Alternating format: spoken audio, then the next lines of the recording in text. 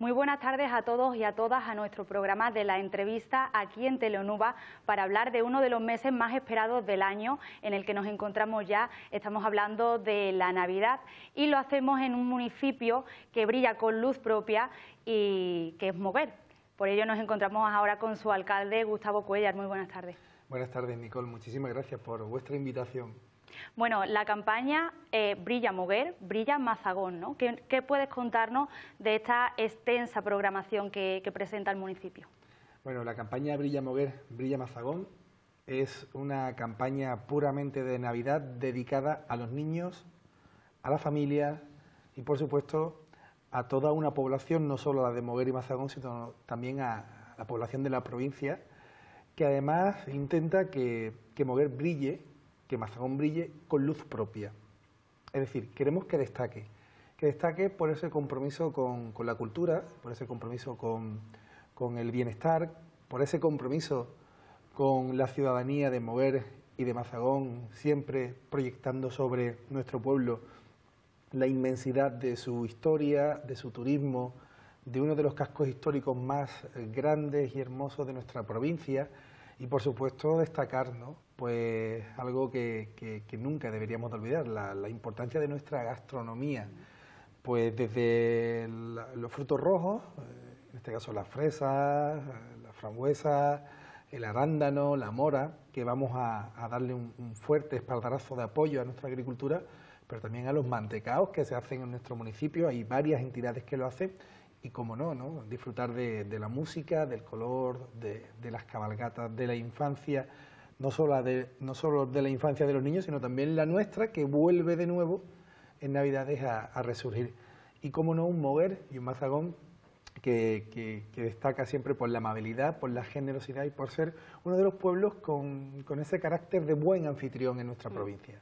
Hablamos de más de medio centenar de actividades, ¿no? y por ello pasamos, me interesa mucho eh, centrarme en los protagonistas de esta fecha, sobre todo los niños, ¿no? ¿Qué, programación se les va a ofrecer a ellos? Bueno, pues lo cierto es que tenemos un, sinfín de, actividades. Si las navidades calculamos que duran en torno a unos 35 o 40 días, empezaremos el día 5, pues si sumamos los días, en, en aproximadamente 30 días tenemos 50 actividades. Es decir, que casi duplicamos el número de actividades según los días, ¿no? ¿Y qué vamos a tener para los niños? Bueno, los niños tienen que disfrutar de la calle y de su entorno. Por eso vamos a tener una fiesta multiaventura, donde se, se podrá ver pues no solamente castillos y actividades para niños, castillos hinchables o actividades recreativas para niños en las plazas de Moguer y de Mazagón, sino que además vamos a tener talleres infantiles de forma permanente, talleres eh, donde los niños podrán pintar, dibujar, hacer eh, figuras de papel, hacer mm, motivos navideños o, por supuesto, en esa gran, en esa gran actividad con los niños vamos a tener también esa gran nevada, una gran nevada en Moguer y una gran nevada en Mazagón para que se simule de alguna forma, pese al sol que hace, que Moguer en Navidades también, también nieva. Y, como decía, mm, además de, de este tipo de actividades, pues es algo que es muy, muy paradigmático y muy, muy bonito, es la gran burrada. ¿no? La gran burrada es un día donde padres y niños van vestidos de época, de época 1900, de cómo se vivía la Navidad en, los años donde Juan Ramón de alguna forma describe la grandeza de un pueblo como es el pueblo, como el pueblo de Moguer. Y además de esto, pues bueno, pasacalles infantiles. Los pasacalles infantiles hace una de las de las delicias más importantes de nuestro municipio y esos pasacalles pues tendrán, em, eh, se verán en varios días, ¿no? Eh, pasacalles eh, que además van a estar, por supuesto, alimentando días mágicos de nuestra, de nuestra Navidad. Me llamaba especialmente la atención de esa, esa actividad de la gran burrada, ¿no? que se centra en un personaje de Juan Ramón, ¿no? Platero en específicamente. Y me llama la atención que también, aparte de pues esta actividad un poco lúdica para los niños, también sea cultural, porque se leen también poemas, si no me equivoco, de, Juan Ramón, ¿no?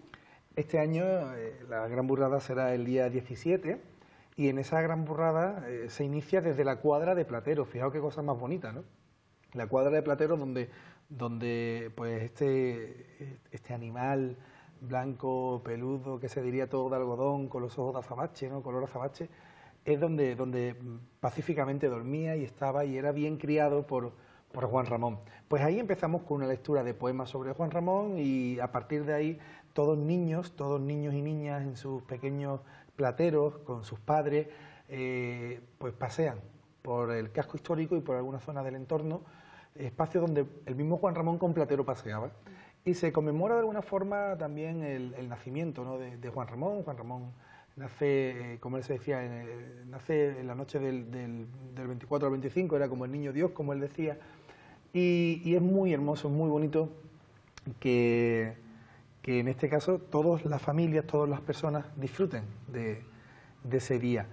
Em, se caracteriza porque, claro, Platero, Juan Ramón, son universales y hacen universal a mover por ese amor y ese cariño de esa doble personalidad con la que jugaba Juan Ramón en torno a Platero, ¿no? Era su mejor amigo y al mismo tiempo proyectaba las bondades de una sociedad como la mogreña. Y en Navidad de Moguer se hace especialmente hermosa, especialmente tierna, pero especialmente humana. Claro que sí. Gustavo, ¿qué dos actividades podríamos destacar especialmente? Bueno, mm, me pones en un fuerte compromiso porque realmente, Nicole, eh, las actividades Mover de estas 50, si me das un plus y te puedo destacar dos más, te lo agradezco y te digo por qué. Em, hemos hablado de la burrada, pero, por ejemplo, no hay en toda la provincia de Huelva una cabalgata de Navidad. Es decir, cabalgata de Navidad. El día 25, por mover, pasará una de las cabalgatas más emocionantes y más distintas que existe en toda Andalucía y es la cabalgata de Navidad. Y me atrevería que casi en toda España, donde la luz, el color y la música, eh, gracias a, las bandas de música de nuestro municipio, pues hacen bueno, eh, un día muy mágico para todos los niños. Fijaos bien, el día 25, cabalgata de Navidad. Pero claro, si hablamos de la cabalgata de Navidad no podemos hablar de la, de la precampanada. La precampanada es un ensayo previo eh, donde más de 5.000 personas se aglutinan en torno a nuestro casco histórico y donde gracias a la colaboración de Cuna de Platero, en este caso una de las empresas más importantes del sector agrícola, pues nos brinda gratuitamente la posibilidad de tener fruta para contar las 12 campanadas con frutas de la tierra. Y esa misma noche hacemos, hacemos gala de lo que decía antes, de ser un pueblo muy anfitrión, con la actuación de una orquesta que se llama La Tentación y con un DJ al final, para que desde prácticamente las 8 de la tarde hasta las 12 eh, de la noche, pues disfrutemos de un momento muy mágico, muy especial y sobre todo que, tengamos esa fortaleza ¿no? de, vivir conjuntamente el cierre del año. No puedo olvidarme las dos noches mágicas del 24 y el 31, donde los jóvenes van a tener, tanto en Mover como en Mazagón, un espacio joven con carpas montadas para que disfruten de, de DJs y de espacios habilitados con seguridad para que estén momentos tan, tan importantes. Y como no, Nicole, la cabalgata de Reyes, de sus majestades los Reyes, que estarán en Moguer y en Mazagón con nosotros, disfrutando de, bueno, como decía antes, de entornos muy, muy, muy singulares, muy especiales. Y imagínense, es un Reyes Mago paseando por la plaza de la iglesia, donde se puede ver la, iglesia más grande de la provincia de Huelva. Es casi de dimensiones catedralicias o, cerca ¿no? del convento de San Francisco o la plaza de, o la plaza de las monjas. Yo creo que que junto a la mirada al mar que hacen los reyes, su majestad de los reyes desde Mazagón, mm, de verdad creo que son espacios idílicos y además con esa gran amabilidad que, se desprende de un pueblo como el nuestro. Sobre todo, como comentaba, muy importante esa parte musical ¿no? en, el, en el pueblo y también para los jóvenes, ¿no? porque muchas veces se centra en los niños, pero los jóvenes no saben qué actividades hacer adaptadas pues, a una edad un poquito mayor. Claro, una de las mayores demandas que tiene cualquier eh, administración pública y sobre todo las locales, ¿qué hacemos con determinados jóvenes que, claro, no tienen ni la edad suficiente para poder disfrutar de una forma ni tampoco para disfrutar de otra? En eso, en eso hemos trabajado mucho y todos los fines de semana, todos los fines de semana de, Navidad, tanto en Moverón y Mazagón, tendrán programación de música y programación cultural en las plazas públicas.